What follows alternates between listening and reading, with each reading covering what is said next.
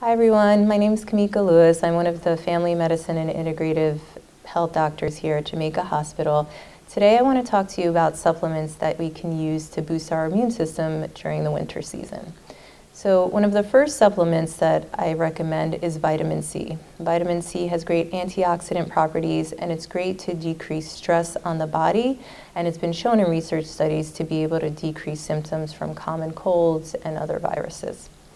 The second supplement that's great is vitamin D. We often think of vitamin D when we think of strong and healthy bones, but vitamin D has also been shown to really decrease inflammation in the body. Research shows that when you have high inflammation, you have a higher susceptibility to getting viruses and colds and other infections. The other supplement that's very helpful is zinc. Uh, zinc has also been shown um, to have great antiviral and anti-inflammatory properties. When we're taking zinc, you want to make sure you're taking it with a meal and taking it at least two hours away from other prescription medications as it can affect absorption.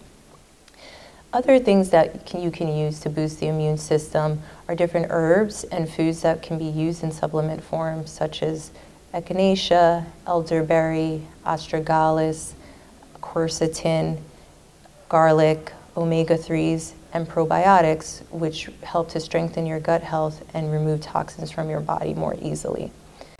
When we're thinking about our body as a whole, the real foundation and cornerstone of a healthy immune system is having a healthy, balanced diet with lots of fruits and vegetables, lean protein, whole grains, and healthy fats.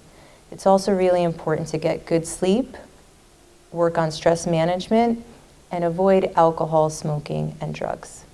Hopefully these tools help you um, to boost your immune system this winter. Stay healthy.